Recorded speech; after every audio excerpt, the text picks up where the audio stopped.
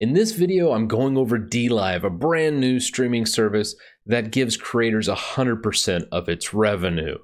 In this video, I'm going over account creation, how to get your rewards and redemption, how to benefit your favorite creator that's on there, and then how does the actual platform work. One final note I will be going over revenue, so if you're interested in how much money you can earn on DLive, I will go into that as well. So with that, guys, let's go ahead and jump into it.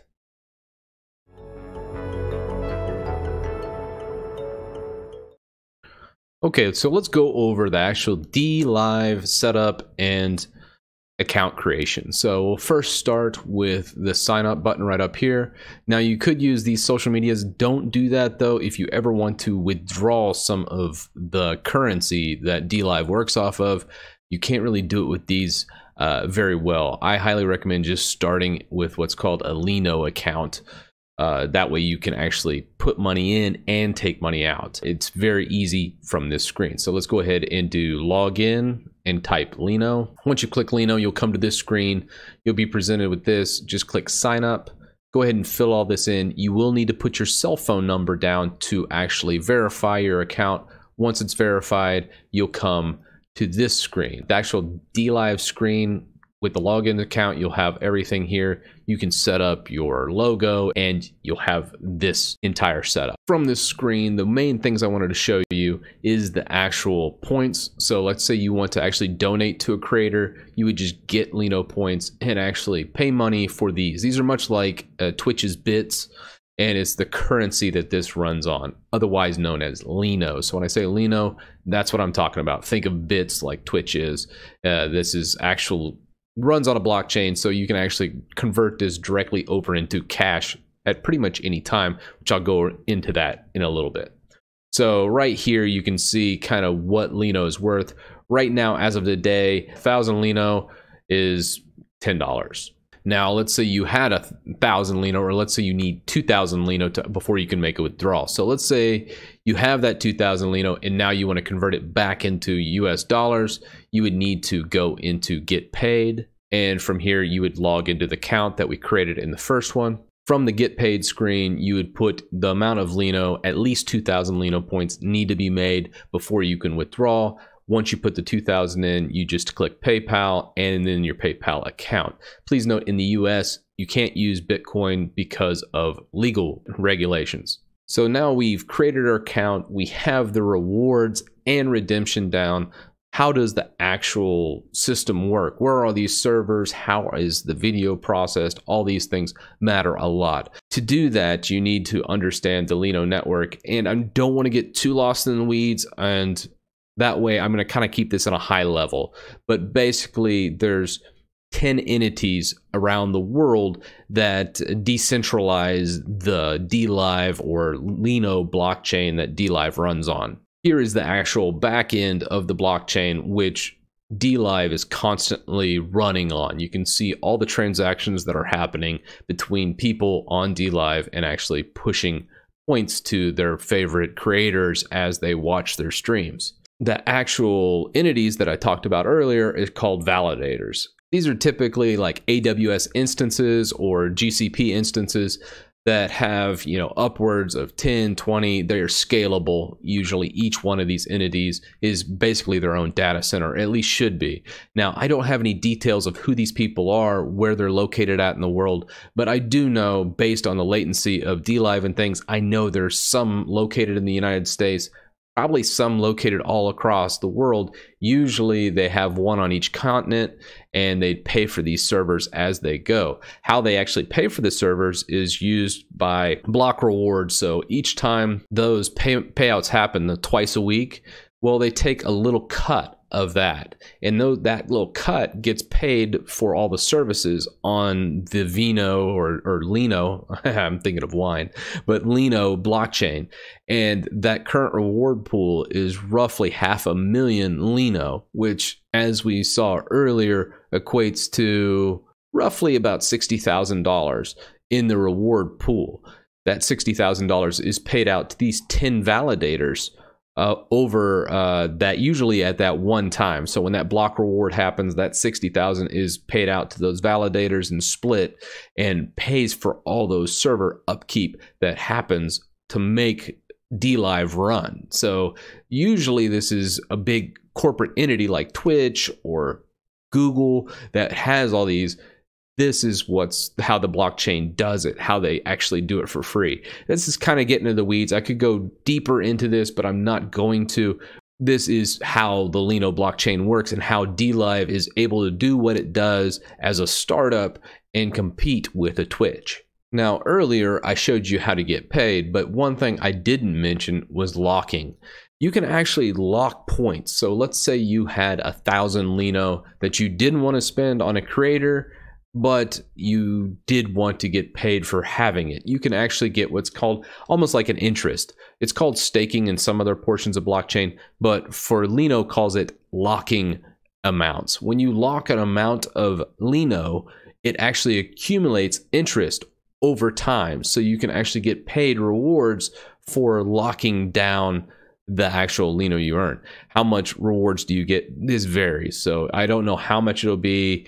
Uh, if you lock a thousand Lino, I don't know what you'll get in return. Usually it's a pretty small amount. For a thousand Lino, you might get like three or four Lino as interest. So it's not a whole heck of a lot. It's, you know, roughly probably about a half a percent or something like that in most proof of stake blockchains. But just know if you do lock it, know that you can't just immediately unlock it. If you lock a thousand Lino, uh, you will have to slowly withdraw that thousand Lino once you click the unlock process. It will take 12 weeks before it fully releases that thousand Lino. It will release one twelfth of that Lino per week. So each week you'll only get one twelfth of the thousand, roughly 80 Lino every week or 80 or 90 Lino every week. You'd get paid out until all of that thousand is paid back to you plus any interest you incurred during that you'd obviously have that already in your balance. So locking points is just uh, just think of it as almost like a savings account but it's not something you can just go ahead and grab. Uh, so lock points with caution but if you're holding onto a ton of lino you don't want to cash out anytime soon. Instead of it just letting it sit in your balance you could lock it in here and make even more money which is pretty cool so let's talk about the risks of this. One, I've already kind of touched on the locked point 12 week wait period.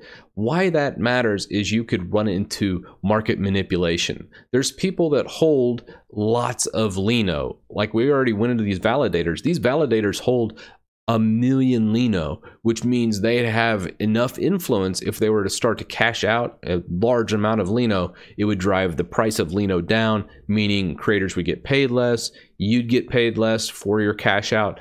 These are issues. So you got to watch out uh, with any of these decentralized things.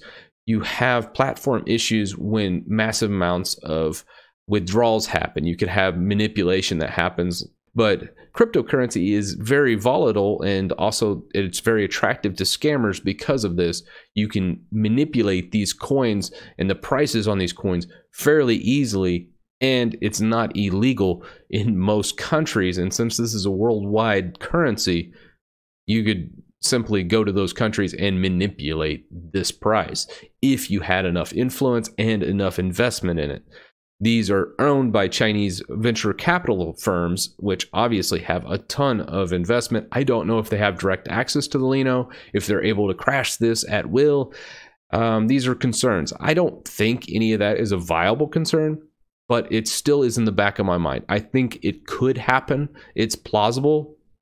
However, I think unlikely the more likely scenario that I think is a more bigger risk to the actual future of DLive and the Lino blockchain is the fact that I don't know how well this will respond to a ton of volume.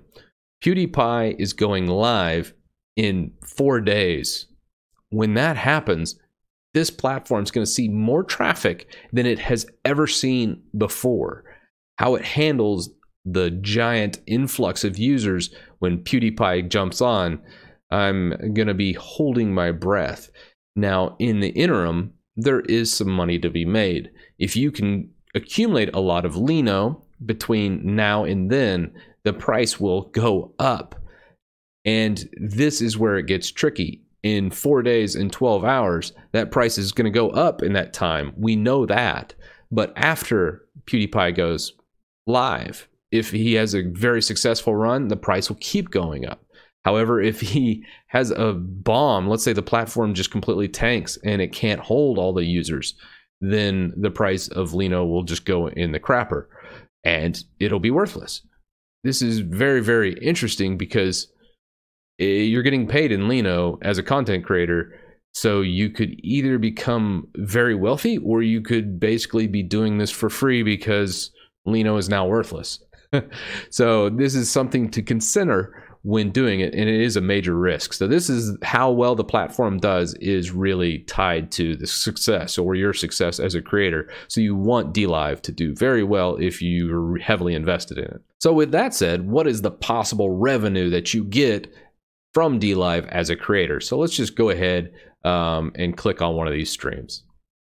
We'll click on her. She has about 100 people watching. She's been live, I think, for probably about an hour or so. She's been on the feed. She already has about 3,000 Lino.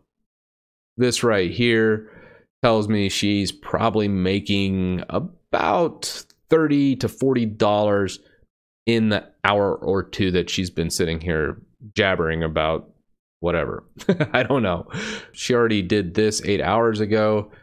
She got almost 10k for that, which equates to about $100. That's pretty impressive. Uh, as far as an earning goes, she's probably pulled in, I you know, probably she'll probably go for another hour or two here and she'll end up pulling in probably $200 today in Lino. And if she holds on to that Lino, as I said earlier, the price is only probably going to go up between now and PewDiePie's launch date. And then who knows where the price is going to go. But she's going to earn some money. So, very interesting.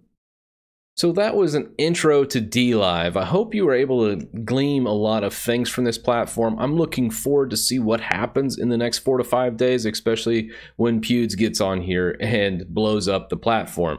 Will it survive? I don't know. I mean, I'm really curious to see how it holds up with that much traffic as YouTube is, you know, have this massive in infrastructure and this is a relatively new project. It's less than a year old. So how it holds up during this stress test is really the thing that I want to know. If it holds up well, it may be the future. It may kill off Twitch or maybe even YouTube Live as far as that goes. I'm really curious to see where this goes. I have high hopes for it and I'm wishing it the best. And I'm on here. As you saw, I actually streamed most of the creation of this video on DLive just to get my feet wet in the actual platform. And I have to say, it was a pretty pleasurable experience. So all around, high marks for me. But again, the true test comes in about four to five days. And with that said, guys, I will see you on the next video.